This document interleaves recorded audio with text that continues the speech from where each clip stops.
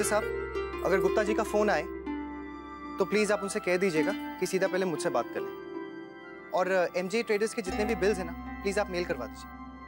हाँ हाँ। जी हाँ। और अगर कोई भी प्रॉब्लम हो तो आप मुझे फ़ोन कर लीजिएगा ओके हाँ।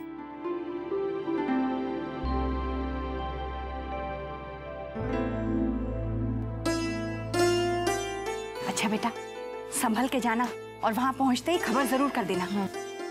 जी माँ आप चिंता मत कीजिए। कैसे चिंता ना करे मुन्ना? तू इतनी भागदौड़ करता है।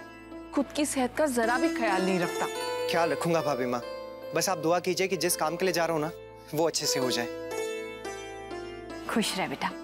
परमात्मा करे जिस काम के लिए जा रहा है वो अच्छे से हो जाए। भाभी माँ वो जो चूल्हे पे दूध रखा है उसका क्या करना है? अरे मैं चढ़ा कर भूल गई। सोचा था खीर बना दूँगी।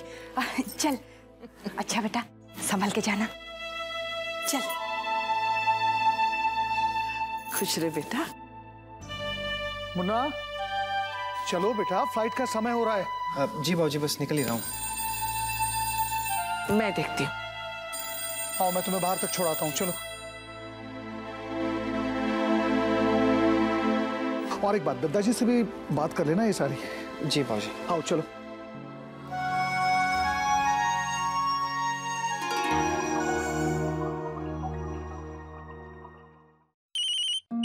इक्का होगा। अंशु इस टाइम अरे हाँ आज तो उसका रिज़ल्ट आने वाला है ना? हेलो अंशु कितने परसेंट आए? हेलो अंशु? हेलो हाँ दीदी। क्या हुआ? तुम कुछ बोल क्यों नहीं रहे हो? तुम्हारा रिज़ल्ट आ गया ना? हाँ हाँ दीदी। क्या हुआ? नहीं दीदी। साइंस में कम मार्क्स आए हैं। कोई बात नहीं अंशु। बोर्ड्स में अच्छे से मेहनत करना। हाँ? मैं फेल हो गया दीदी। क्या?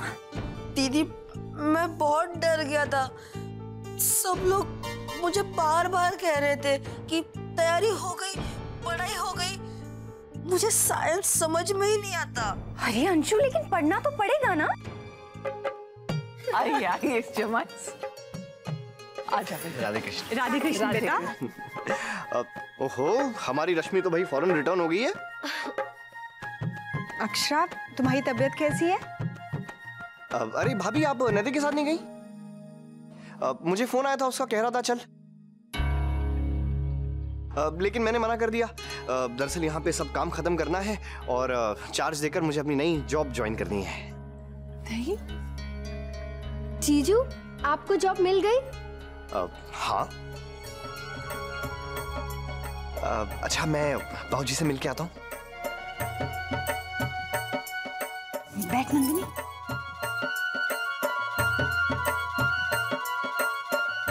अक्षरा क्या बात है? तुम तो दिन पे दिन और सुंदर होती जा रही हो। हाँ मैं भी बहू को कल से यही कह रही हूँ। वैसे तो इन दिनों में सभी औरतें सुंदर लगती हैं लेकिन हमारी बहू का रूप तो चढ़ता ही जा रहा है। वो सब तो ठीक है माँ लेकिन फ्री का मोटापा जो आ जाता है मुझे तो बहुत डर लगता है। और बहुत कम लेडीज़ पहले जैसी हो जाती हैं। भाभी आप टेंशन मत लेना आप पहले जैसी हो जाएँगी। क्यों? छोटी दुल्हन नहीं हुई वो कहाँ से मोटी है?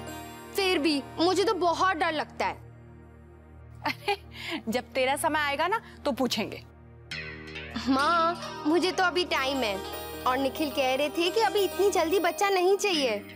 मॉम भी कह रही थी कि बच्चा तभी होना चाहिए जब पति पत्नी एक दूसरे को पूरी तरह से समझ ले। वरना जल्दबाजी में छोटी छोटी बातों को लेकर झगड़ा हो जाता है। अरे तू सब कुछ जानती है?